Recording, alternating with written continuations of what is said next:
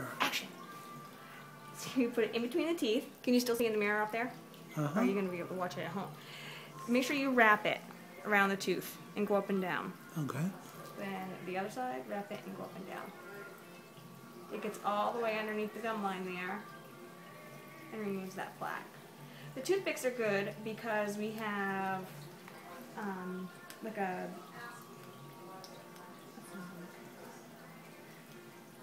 we have a groove on the inside in between our teeth. Mm-hmm. Um, so that will help get inside that groove because floss is just going to flip right over it. Yeah.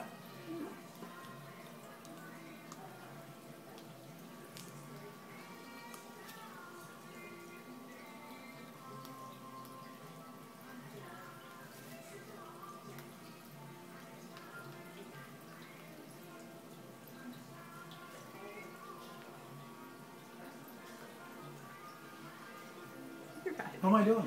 You're doing great. How are you doing? I'm doing perfect. Flossing's my favorite thing to do. Aaron? I love to do it all. Huh. Why I'm a hygienist.